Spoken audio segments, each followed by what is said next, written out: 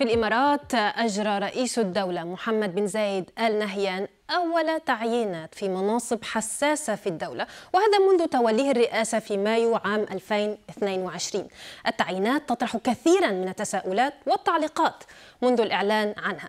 أهم التعيينات هي الخاصة بولي العهد محمد بن زايد إذ عين فيه أو عين نجله الشيخ خالد بن محمد بن زايد وليا للعهد في أبو ظبي. ثم عين كلا من شقيقيه. طحنون إلى اليسار والشيخ هزاع بن زايد يمينا.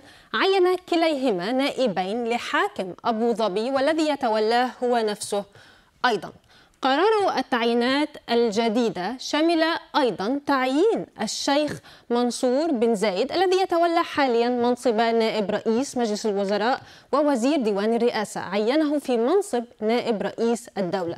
وهذا إلى جانب الشيخ محمد بن راشد نائب رئيس الدولة الحالي كل الأنظار تتجه الآن إلى ولي العهد الجديد الشيخ خالد بن محمد. من يكون؟ الشيخ خالد ولد في عام 1982 هو الابن الأكبر للشيخ محمد بن زايد والدته الشيخة سلامة بنت حمدان آل نهيان تخرج من أكاديمية ساند هيرست الحربية البريطانية الشهيرة وخدم بجهاز أمن الدولة. يتساءل البعض لماذا ظل منصب ولي عهد أبو ظبي شاغرا منذ وفاة الشيخ خليفة بن زايد في العام 2022 وكان الشيخ خليفة رئيسا للدولة وحاكما لأبو ظبي.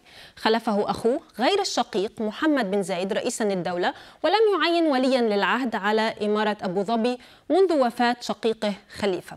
هل هي خلافات داخل العائلة الأميرية؟ لا يوجد حقيقة ما يدل على ذلك لكن هذا ما يتداوله مغردون.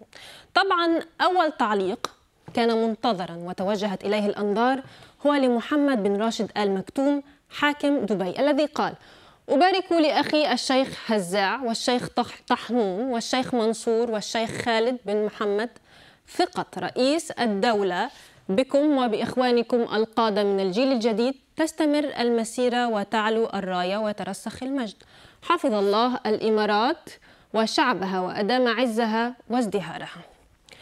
هناك تعليقات كثيرة حول الموضوع منها ما أشار إلى وجود خلافات وهذا ما دعا إلى تأخير التعيينات. هنا مثلا تغريدة لعباس الضالعي يقول بموافقة المجلس الأعلى للاتحاد رئيس الدولة يعين منصور بن زايد نائبا له إلى جانب محمد بن راشد. إطاحة غير مباشرة بمحمد بن راشد.